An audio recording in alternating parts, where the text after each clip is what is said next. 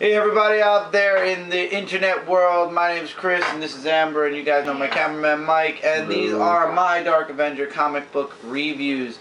Uh, comic books we are discussing this week were released June 8th, 2011. Uh, a bit of news this week, it has been announced by Marvel, A, Bucky is dead. It has been definite. Uh, it's been definite. It's been uh, put down concrete. Also, the Uncanny X-Men line will be ending after X-Men Schism. Uh, there are there is talk about a few X-Men comics that are going to come out of this new number ones for X-Men. Uh, X-Men will still be around, so uh, I'm looking forward to seeing what they have planned with the X-Men after this whole civil war goes on between Cyclops and Wolverine. Very interesting stuff so far. Next week, as a matter of fact, the third part of Schism comes out, so I'm looking forward to that. Um, DC Comics wise, they have announced the 52 relaunches with the new costumes and little tidbits here and there. And I'm being honest with you guys, I'm not getting anything except the first issues of the comics I've been buying. And mostly for Superman, I'm buying it as an endpoint for me. Uh, I'm probably going to be dropping everything. I've been reading the updates. And you know what? I've been on a few message boards where people are more excited because these are people that truly don't understand comic uh, DC comics, truly aren't fans of the stories and the characters. Because if they, if you're a true fan, you realize that these are icons. These are superheroes who don't need a retelling. They just need good writers to do good stories with them. This remake that this guy from Marvel, who's out of nowhere become president of DC Comics because Dan Didio decided to step down. Um, he doesn't know what he's doing, but DC feels, well, he worked with Marvel and Marvel was on top. So let's let him make all these decisions and maybe he'll help us. It's not going to help. I don't care how many people are excited, and I'm going to stop talking about it after this, and I'm making this very brief because you know what? I give up. I really do. Because it's proof enough that I went on a message board today, or uh, it's not like a message board. They post a question up. What do you? How do you feel about these new titles and these new relaunches and these number ones? And every single comment said the same thing. Uh, I'm giving it a chance. I'm pretty excited for the reboot. I'm this and that. That's proof enough right there that people really don't care enough to want things to be The same. the same.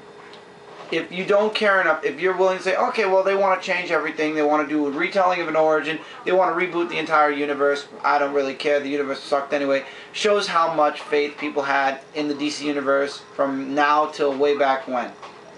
Me, I'm pissed off. But that's because I knew there was potential for the universe the way it is now if you got good writers. But apparently, whatever. Uh, what will be, will be one or two voices, one or two people who are pissed off, obviously are not going to um, matter because DC Comics is going to do what they want to do, whether we like it or not. And those people that are very excited that are going to kind of spoil it for people like me who are diehard fans that are familiar with the icons and what they stand for and believe that this change is wrong. But there's always Marvel Comics. Once again, I will not be promoting DC Comics when the relaunch happens. I will be getting the number ones and not reviewing them here because I think it's just plain retarded. But like I said, end of it. I'm not going to talk about it anymore. You guys will just see in September when things disappear. Starborn number seven came out this week. Stan Lee's run on these three comics, Starborn, Soldier uh, Zero, and The Traveler, is amazing. There's a crossover going on with Starborn and Soldier Zero coming up pretty soon, and I am very excited to be seeing that. Um, in this issue, um, we uh, learn a little bit more about uh, Benjamin's father, and also he learns about we learn about um, how um, the shapeshifter cannot have any feelings towards um, Benjamin because basically she says at birth we're taken away, we're stripped of all our humanity. You know, the, the standard stuff. Nothing abnormal with that. The artwork once again is crisp and beautiful. I want to try to get some artwork. Um, almost, uh, whatever. Don't mind me, guys. But it's a little late at night. Uh, we started this review a bit later than we uh, normally do.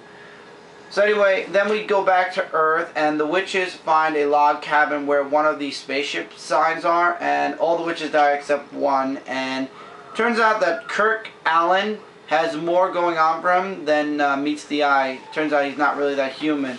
Later on, Kerr uh, shows up and uh, goes to save Benjamin and the shapeshifter, except the uh, problem is uh, Benjamin asks why they call him Kerr and why don't they call him Kerr Talon. It turns out that his, I want to say uncle,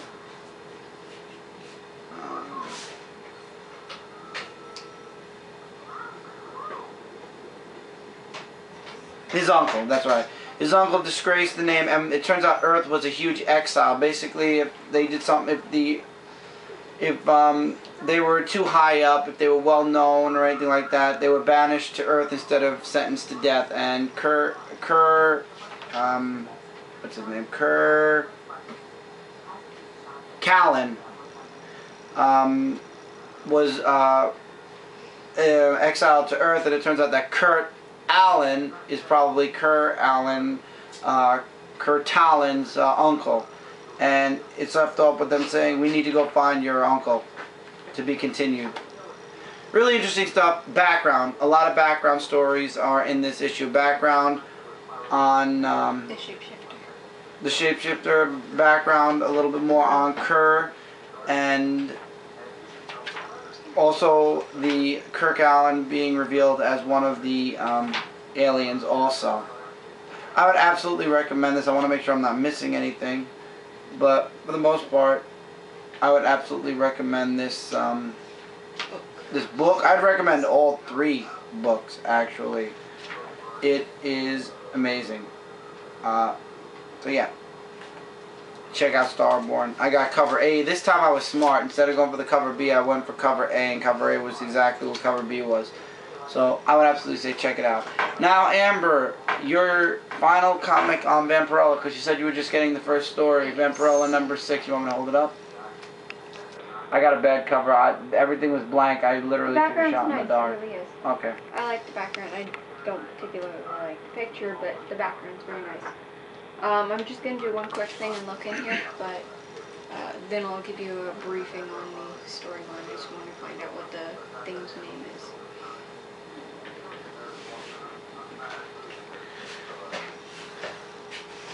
Wrong page.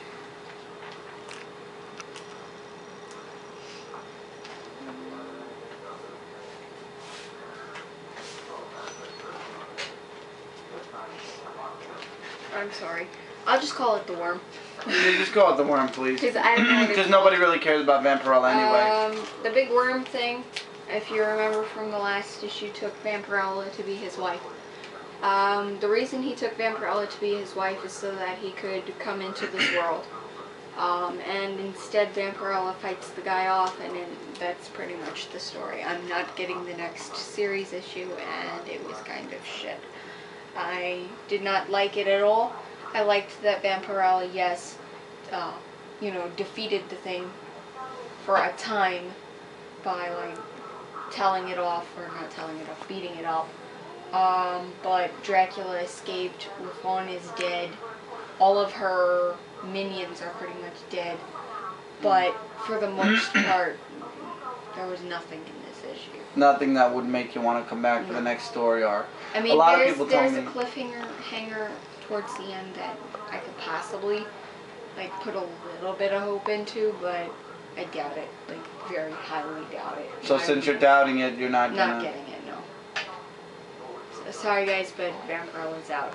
So I'm staying Vampirella is a, a Death. skip. Yeah, Lady Death's coming out next week, as a matter of fact. So looking forward to that. Vampirella is a major Hmm. skip. Okay, so finally this week, as far as independents uh, go, Image Spawn number 208 is here. Excuse me for a minute. Okay. Let Mike scan the issue while you're going. In this issue, Twitch and Spawn. Um, in the last issue, we left off with Twitch and um, Jim's uh, confrontation, where Twitch finds out that Al Simmons is dead.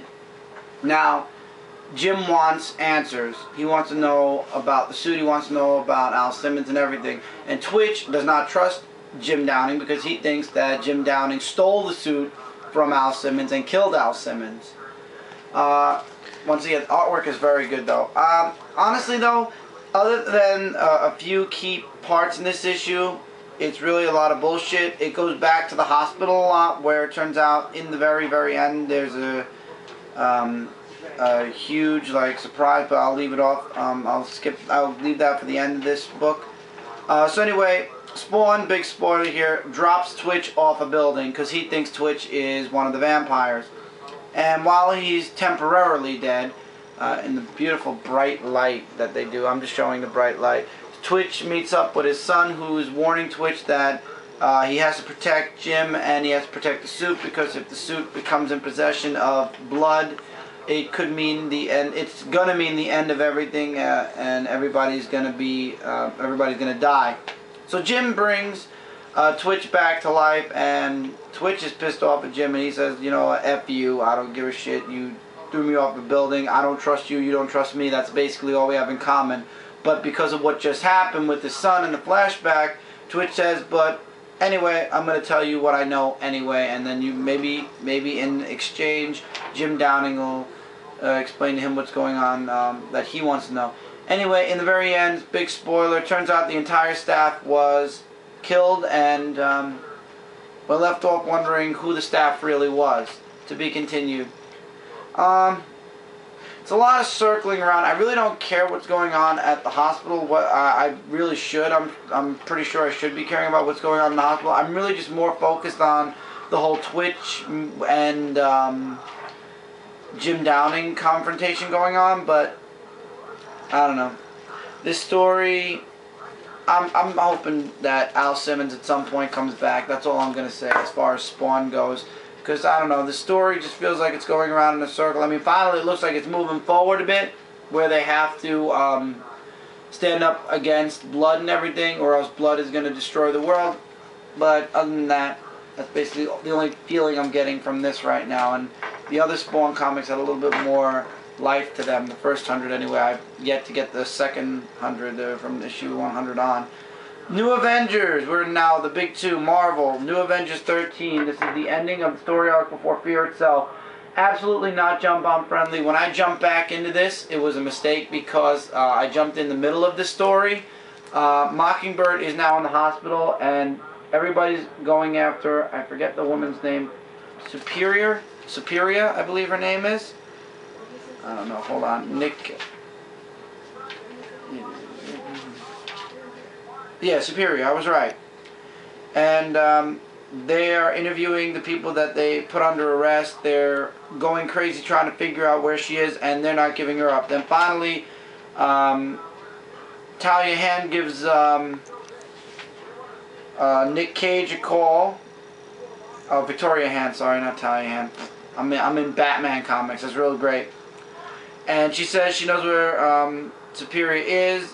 Uh, let me put it this way. She says where Superior is. Uh, long story short, the Avengers show up and take out Superior. Mockingbird ends up waking up in the end, and it turns out that Victoria Hand and uh, Superior have something going on because in the end of the issue, that's left in her prison cell. So it turns out Victoria Hand might be still wanting Army, the um, Hammer, to come back. Next issue, Fear Itself. Now that's going to be something that's uh, going to be enjoyable to read and something that I can actually talk about without completely jumping in the middle of a story and not knowing exactly what's going on. But like I said, point is Mockingbird wakes up. Huge spoiler there. We're jumping into the Ultimate Universe for this one. Ultimate Spider-Man number 159. One more issue till the ultimate death, so to speak. Uh, in this issue, basically, Peter Parker, because um, now his mask is off, so technically he's Spider-Man, but without the mask, takes on the Sinister Six, except for um, Green Goblin, who's knocked out for uh, at the time. Uh, artwork is beautiful. It's good to see um, Bagley's artwork. I hope I said his name right.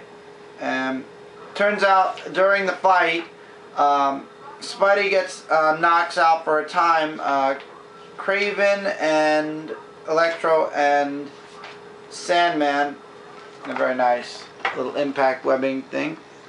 with the water. Actually, he breaks a fire hydrant with his foot and he causes a huge shock. But he's still suffering from the bullet wound. Turns out, though, his identity is finally out because people are taking pictures of him with their uh, wonderful video phones. And turns out Sandman comes back to life, and Vulture shows up, and Peach is getting the crap beaten out of him. And then Aunt May gets a call from her next door neighbor, uh, Mary Jane's mom. I believe it's Mary Jane's mom. Uh, uh, Doris. Uh, and um, whatever. And she comes speeding back to save Pete, and huge, huge spoiler Electro gets shot by May Parker, who shoots to kill and does in fact kill Electro, knocking out also Sandman and Vulture. But there's just one big problem. The last page, which is a splash page, somebody wakes up who was knocked out at the beginning of this issue. And it's to be concluded. My prediction, two to one. Um, Pete and Green Goblin are going to duke it out one last time, and I think they're both going to go down. That's my my prediction. I could be wrong, but once again, after 160, I'm probably dropping the Ultimate line because, first of all, has no impact on the actual Spider-Man comics, and second of all, no offense, but since Ultimatum, the Ultimate Universe has been on a downward spiral to crap. Which is exactly what's going to be happening to DC Comics when they do the reboot, except it won't be the Ultimate Universe, it'll be their universe. Yes, that's a little mm, I put in there, but expect those low blows from time to time. Uh, Fear Itself, Spider-Man Part 2 and 3. Um, straightforward this issue. Uh, Spidey fights Vermin for a bit. Then he meets up with the guy who's very paranoid, who shot somebody. And they all meet up at the church.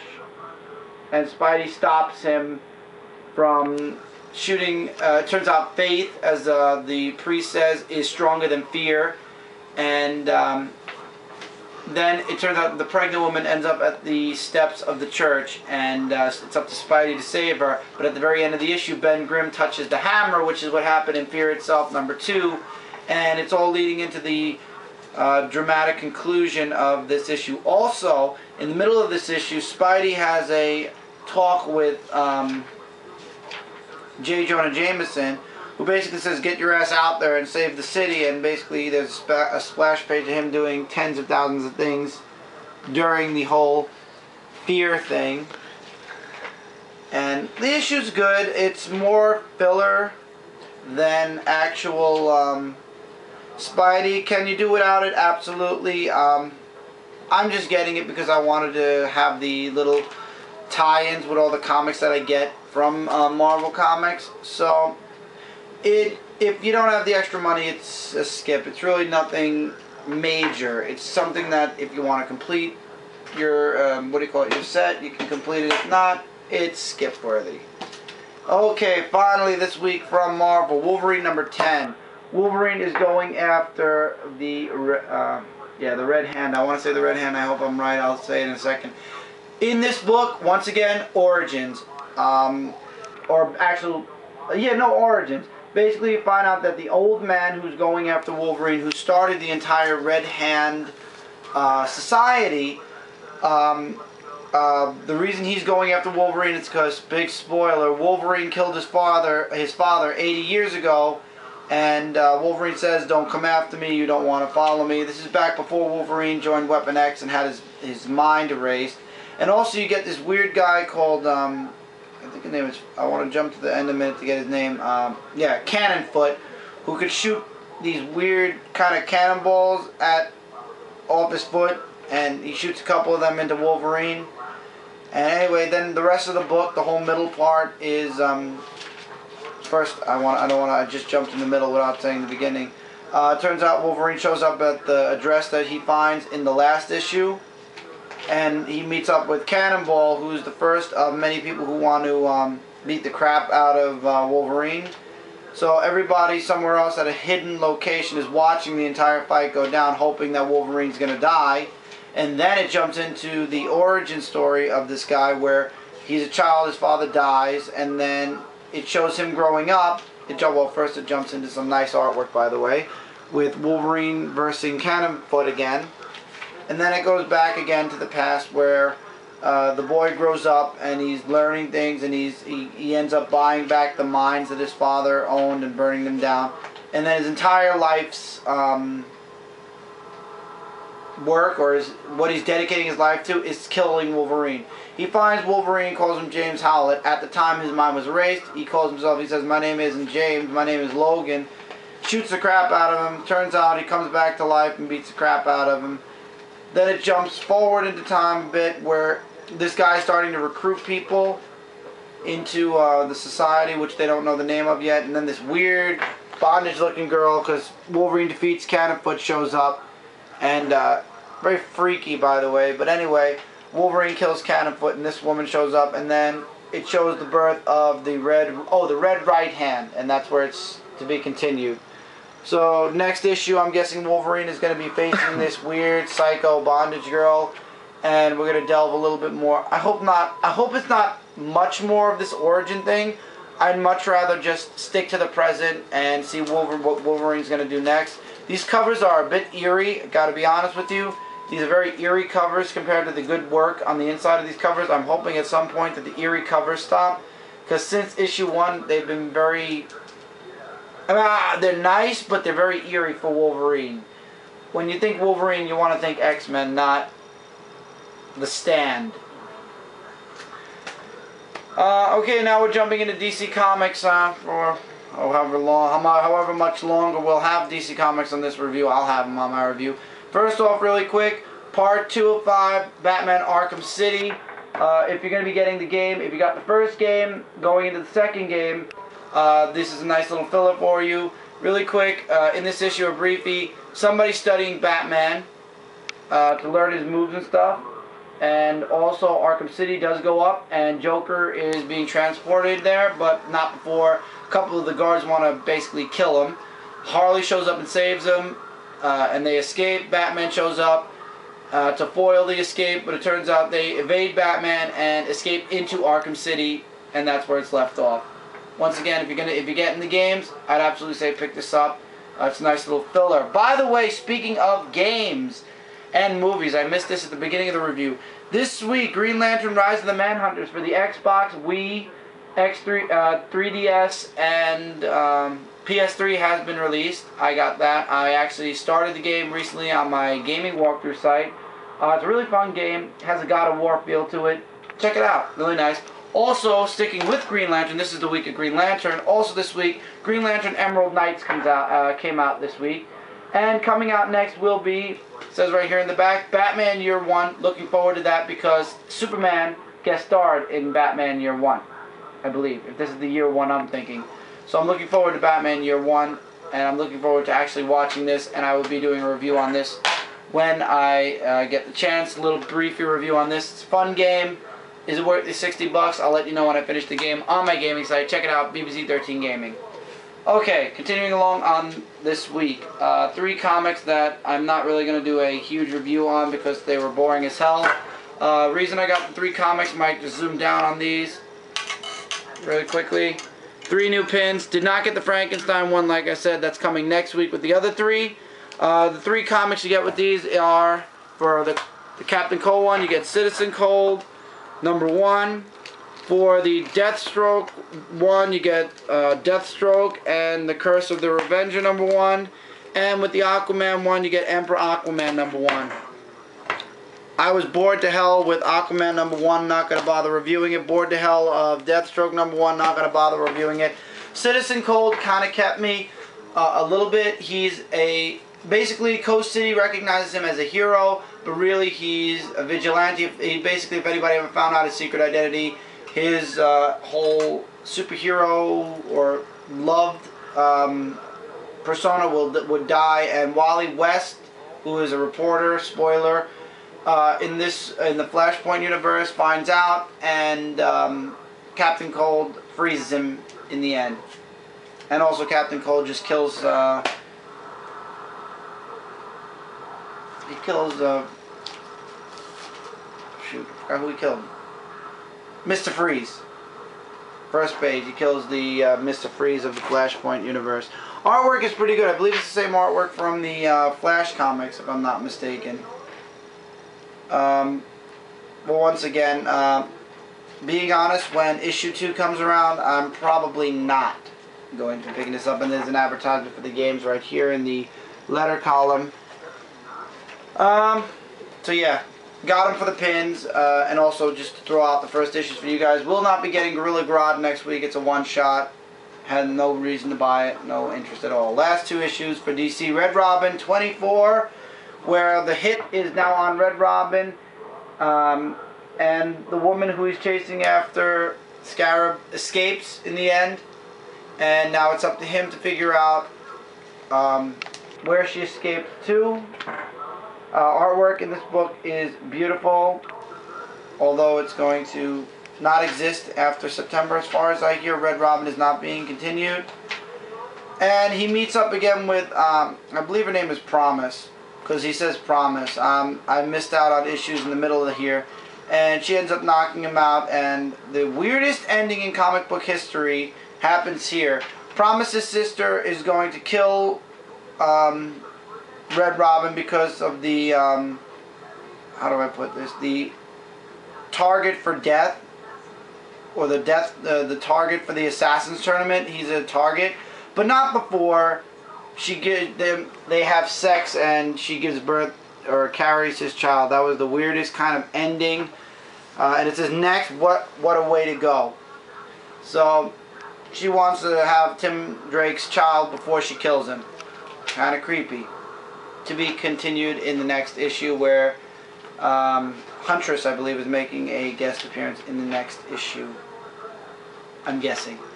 Pretty good. Um, a lot of talking, a lot of running around in this issue. Not really much to the action line, but as always, I love Red Robin. Um, be honest with you guys, I am going to say one thing about the reboot.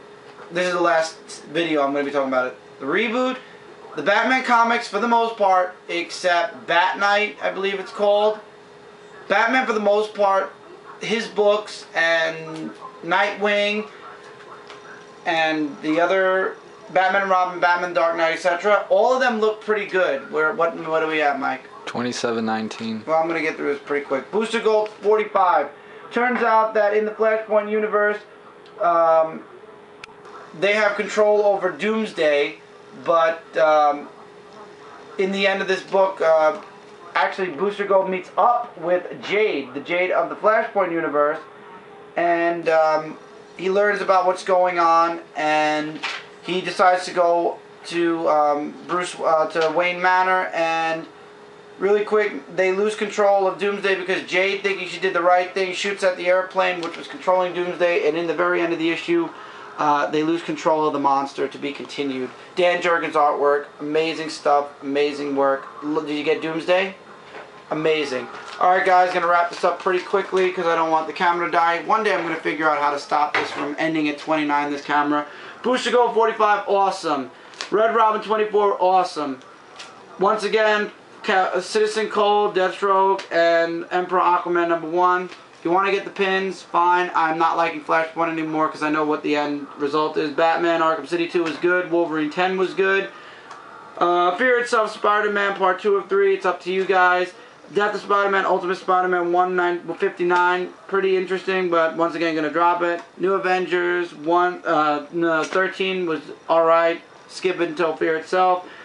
Spawn 208 was alright. Am Amber, who hasn't come back yet, Vampirella 6 sucked, and Starborn 7 was awesome. Also, check out the Green Lantern game and movie, straight to DVD anime movie that came out this week. And I will see you guys next week for another Dark Avengers comic book review. Um, Take care, guys. See you next week. Oh, there you are. Sorry. Bye. Later, guys.